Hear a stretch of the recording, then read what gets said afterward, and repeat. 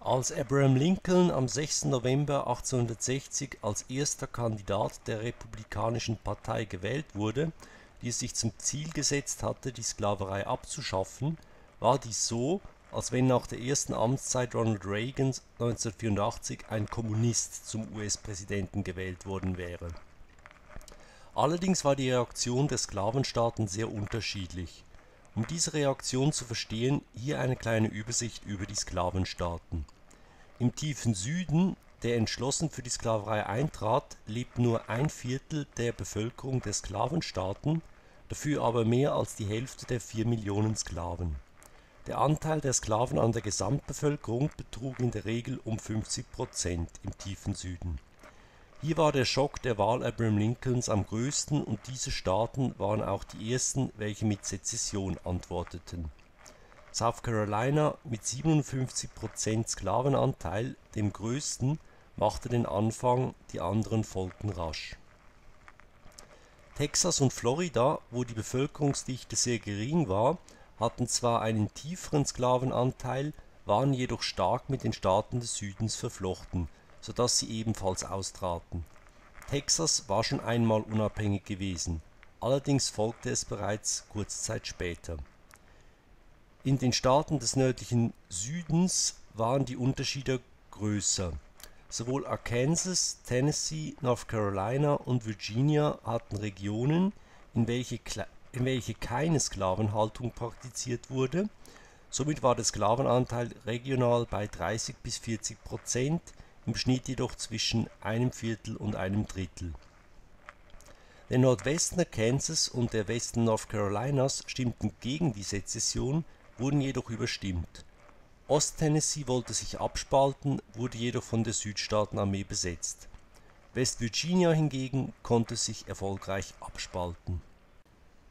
Einig waren sich diese vier Staaten darin, dass sie sich nicht abspalten wollten. Allerdings waren sie auch gegen den Einsatz von militärischer Gewalt gegen die übrigen Südstaaten. Als diese jedoch nach der Belagerung von Fort Sumter und Lincolns Freiwilligenruf äh, Realität wurde, spalteten sich diese Staaten dennoch ab. Die Unterstützung war in Virginia zweifellos am stärksten. Die restlichen, die eigentlichen Grenzstaaten Missouri, Kentucky, Maryland und Delaware grenzten großflächig an Nicht-Sklavenstaaten an in Kentucky betrug der Sklavenanteil 20 Prozent, in Missouri 10 Prozent, in Maryland 13 Prozent und in Delaware lediglich 1,6 Prozent. Kentucky, Missouri und Maryland erklärten ihre Neutralität und wollten keine Truppen gegen den Süden mobilisieren. Delaware, obwohl eher dem Süden zugeneigt, blieb der Union treu. Nach Aufhebung der Neutralität schlossen sich die äh, Staaten Missouri, Kentucky und Maryland gegen den Willen einer pro-südlichen Minderheit der Union an.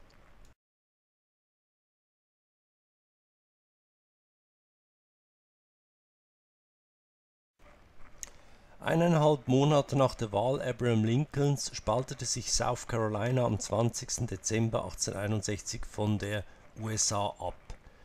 Nach den Weihnachtsfeiertagen folgten Entschuldigung, ähm, folgten ab dem 9. Januar 1861 nacheinander Mississippi, Florida und Alabama. Am 19. Januar folgte Georgia, am 26. Januar Louisiana und schließlich am 1. Februar Texas. Texas ließ den Sezessionsbeschluss durch eine Volksabstimmung am 23. Februar 1861 ratifizieren.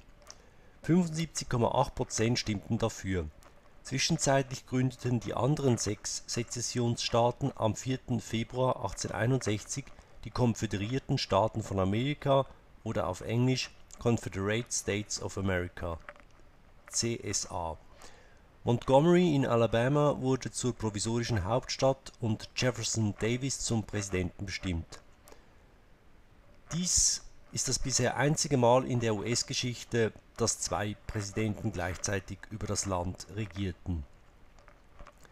Erste inoffizielle Staatsflagge wurde die Bonnie Blue Flag und erste inoffizielle Nationalhymne das gleichnamige Lied. Am 2. Dezember 1861 trat Texas der Konföderation bei und die Konföderation begann Stützpunkte und Lager der US-Armee zu übernehmen. Fünf Stützpunkte jedoch verweigerten die Übergabe. Das waren das Fort, Pick Fort Pickens an der Einfahrt zu Pensacola, Florida, Fort Sumter an der Einfahrt zu Charleston in South Carolina dann auf den Florida Keys die Forts Jefferson und Zachary Taylor sowie in äh, Virginia, das sich äh, schon bald auch der Konföderation anschließen sollte, das Fort Monroe, das die Einfahrt zu den Häfen von Hampton, Norfolk und Portsmouth sowie den James River überwachte. Mit Ausnahme von Fort Sumter blieben alle vor äh, den ganzen Sezessionskrieg über unter Kontrolle der US-Streitkräfte. Entschuldigung.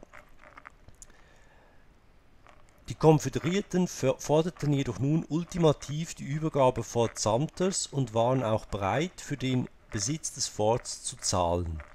Präsident Lincoln, der die Konföderation nicht anerkannte, war jedoch nicht bereit, die Unterhändler zu empfangen und befahl, dass Fort Sumter vom Meer her mit Nachschub versorgt und gehalten werden sollte.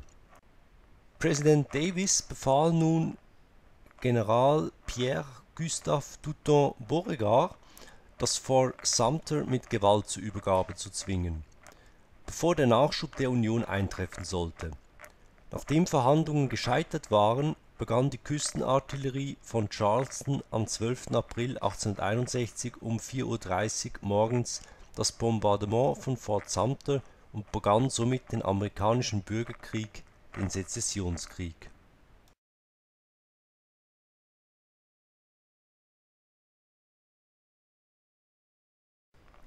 Wegen des Beschusses gelang es der US Navy nicht, Fort Sumter zu versorgen am 14. April 1861 um 14:30 Uhr wurde das Fort an die Konföderierten übergeben.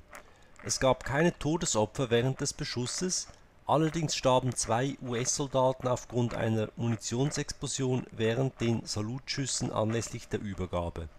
Die Besatzung des Fort kehrte auf den Schiffen des vor der Küste kreuzenden Nachschubgeschwaders in den Norden zurück mit dem Beschuss von Fort Sumter waren die Würfel gefallen. Am 15. April 1861 berief US-Präsident Lincoln 75.000 Freiwillige zu den Waffen, um die Rebellion der Südstaaten niederzuschlagen.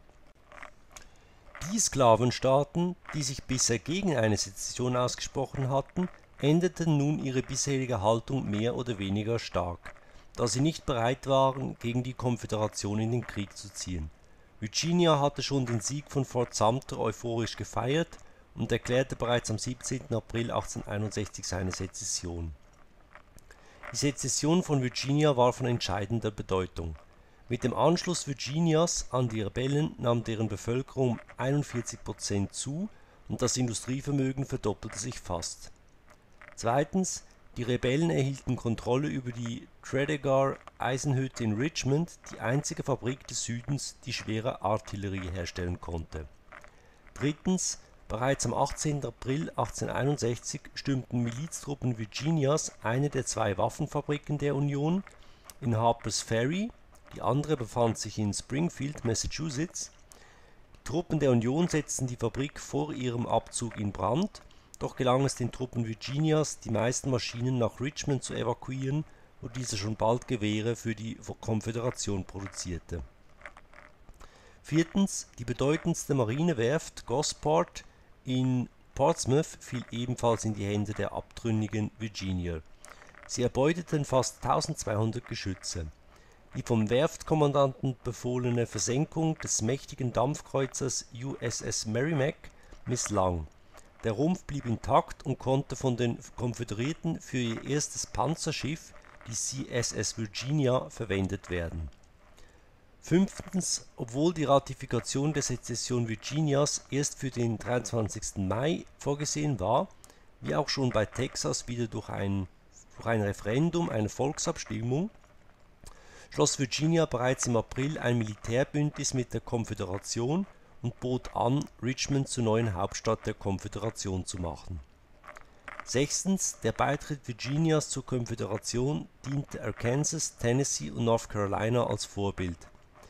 Maryland erklärte am 29. April 1861 seine Neutralität.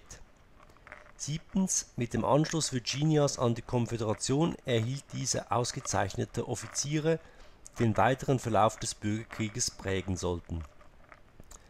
Robert E. Lee, Joseph Johnston, Stonewall Jackson und Jeb Stuart. Robert Edward Lee lehnte das Angebot, den Oberbefehl über die Union Entschuldigung. Robert Edward Lee lehnte das Angebot, den Oberbefehl über die Unionsarmee zu übernehmen, ab, da er seinem Heimatstaat Virginia treu bleiben wollte.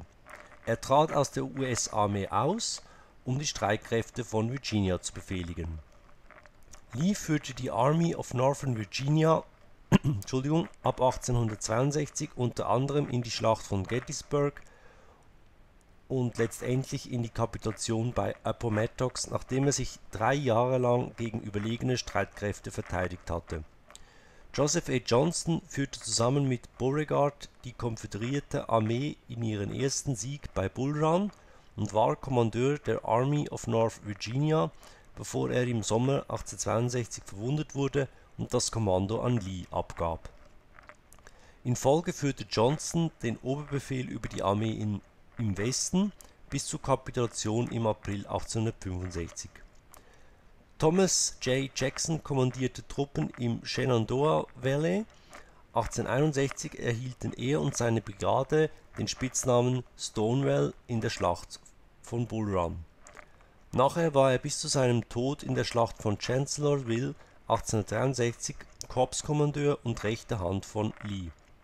Jeb Stuart war erfolgreicher Führer der Kavallerie äh, Jeb Stuart war erfolgreicher Führer der Kavalleriebrigade der Army of Northern Virginia und linke Hand Lees bis zu seinem Tod 1864 in der Schlacht in der Wilderness. Das Staatsmotto von Virginia, Sic semper tyrannis, so ergeht es Tyrannen, erlangte tragische Bekanntheit. Genau vier Jahre nach der Kapitulation von Fort Sumter am 14. April 1865 schrie John Wilkes Booth von der Empore im Ford Theater diese Worte in die Menge, nachdem er zuvor einen tödlichen Schuss auf Abraham Lincoln abgefeuert hatte. Am 4. Dezember 1861 hatte der Deutsch-Amerikaner Nicolas Marschall die erste Flagge der Konföderation, die Stars und Bars also Sterne und Balken, kreiert. Die sieben Sterne der Flagge standen für die sieben Staaten der Konföderation.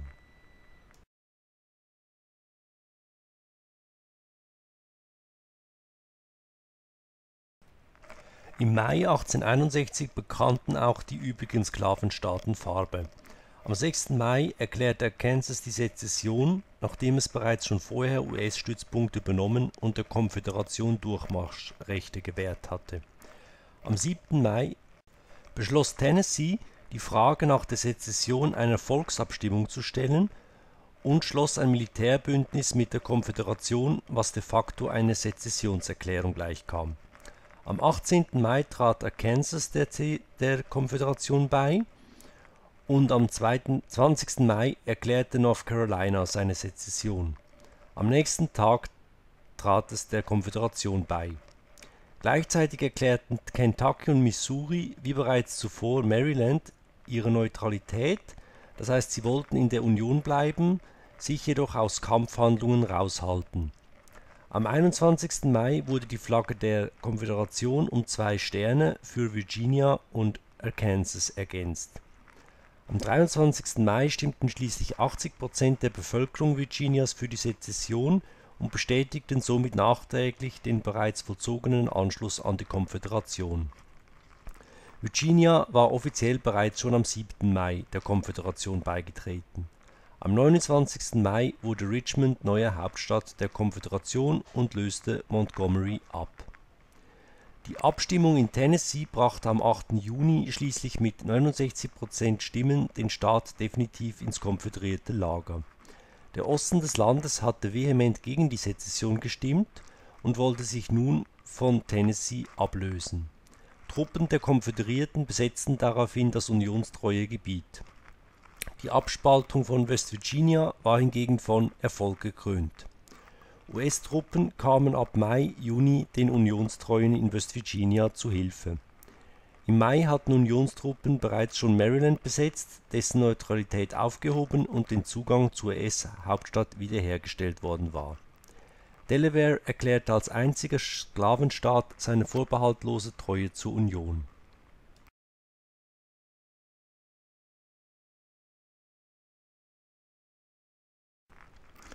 Im Juli 1861 begannen sich die Kriegshandlungen zwischen Union und Konföderation zu intensivieren. US-Truppen besetzten große Teile Missouris und drängten die Truppen des pro-konföderierten Gouverneurs zurück. Im August gelang es diesem jedoch, mit Unterstützung der konföderierten Armee den Südwesten Missouris zurückzuerobern. Am 2. Juli 1861 erklärte Tennessee seinen Beitritt zur Konföderation und die Flagge der Konföderierten wurde abermals um zwei auf elf Sterne ergänzt für Tennessee und North Carolina am 12. Juli schloss die Konföderation einen Beistandspakt mit First-Nation-Stämmen im Territorium des heutigen Oklahoma. Im gleichen Monat begann eine Offensive ins New-Mexico-Territorium, das sich am 1. August als Arizona-Territorium organisierte. Im September marschierten konföderierte Truppen in Kentucky ein. Kentucky hob seine Neutralität daraufhin auf und schloss sich der Union an die nun ihrerseits Truppen nach Kentucky entsendete.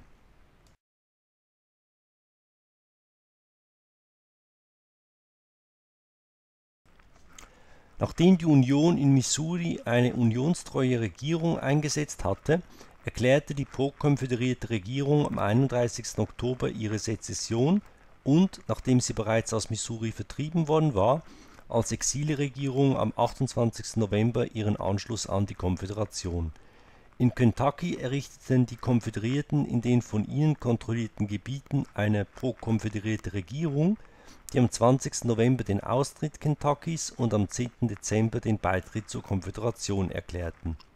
Die Flagge der Konföderation wurde ein letztes Mal um zwei Sterne für die beiden neuen Staaten ergänzt und erhielt mit 13 Sternen vorläufig ihre definitive Form die Konföderation beanspruchte letztendlich neben den elf offiziellen Konföderationsstaaten auch Missouri und Kentucky, obwohl sie diese Gebiete nur teil und zeitweise kontrollierten.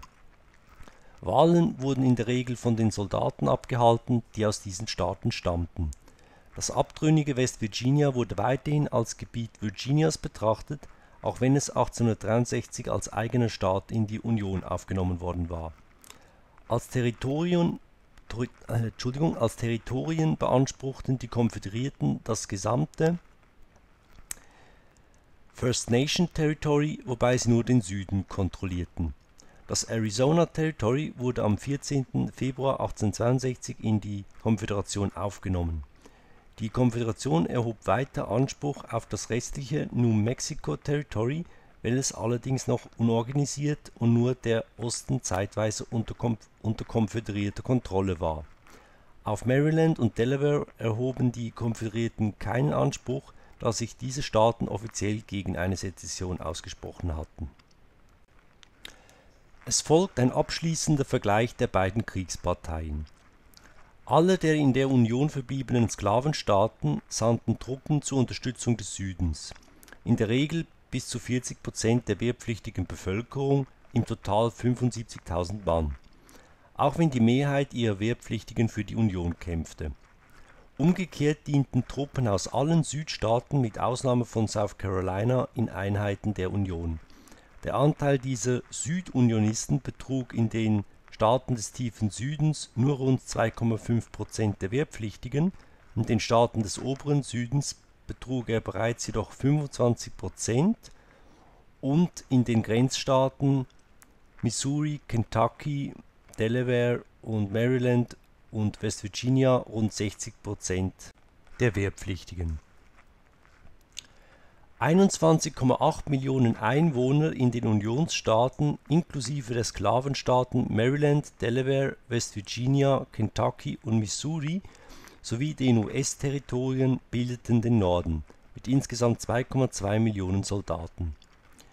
Diese, diesem standen 5,6 Millionen Einwohner in den Konföderationsstaaten inklusive der Territorien First Nation und Arizona mit insgesamt 900.000 Soldaten gegenüber. Die Bevölkerung des Südens betrug weniger als ein Viertel des Nordens und die Armee war nur in etwa halb so stark. Zudem war der Süden, der kaum organisiert war, auf Waffenlieferungen aus Europa angewiesen. Durch eine Blockade der US-Flotte litt die Kriegsführung im Verlauf des Krieges zunehmend unter Nachschubproblemen.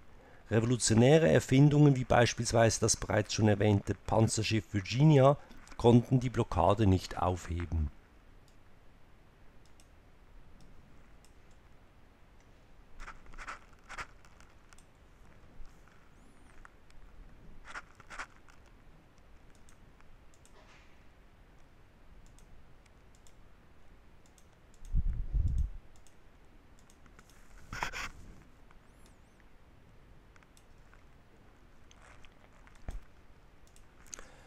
Noch ein Wort zur Herkunft der Soldaten. Ähm, die Bevölkerung der Sklavenstaaten bestand zu 8,3 Millionen aus Freien und zu 4 Millionen aus Sklaven. 2,7 Millionen bewohnten die Südkonföderation, die zuerst aus der Union ausgetreten war, 2,9 Millionen den Norden der Konföderation, die nach der Schlacht von Fort Sumter der Konföderation beigetreten waren. Zwei Millionen wohnten in den Staaten West Virginia, Kentucky und Missouri und 700.000 in Maryland und Delaware. Die äh, Südkonföderation äh, unterstützte die Konföderiertenarmee mit 450.000 Mann und die Nordkonföderation mit 375.000 Mann. Aus äh, West Virginia, Kentucky, Missouri, Maryland und Delaware kamen insgesamt 75.000 Mann äh, in den Süden, um in der konföderierten Armee zu dienen. Aus den, aus den Sklavenstaaten kämpfen insgesamt 250.000 Mann für den Norden, für die Union, und zwar sowohl aus dem südlichen Teil in geringerem Umfang in größerem Umfang aus dem nördlichen Teil und zur Mehrheit aus den ähm, Staaten Maryland, Delaware, West Virginia, Kentucky und Missouri